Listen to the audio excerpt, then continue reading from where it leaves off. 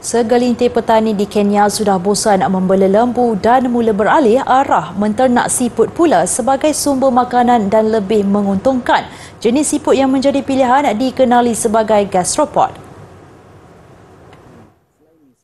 Gastropod sejenis siput air tawar dan antara siput gergasi di benua Afrika.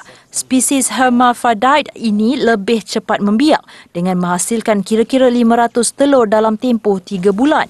Kebanyakan hotel di Kenya sudah memasukkan gastropod dalam menu hidangan mereka dan ia mula mendapat permintaan daripada pelanggan hotel. Selain itu, gastropod juga kaya dengan protein, zat besi, kalsium dan vitamin A serta rendah lemak.